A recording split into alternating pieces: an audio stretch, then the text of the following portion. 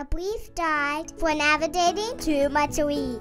Some days life can be challenging. See tomato and hurry. Sometimes you must declare it's all toomuchery. Too much to process, too much to see. Too much to handle, too much cat pee. I don't even own a cat.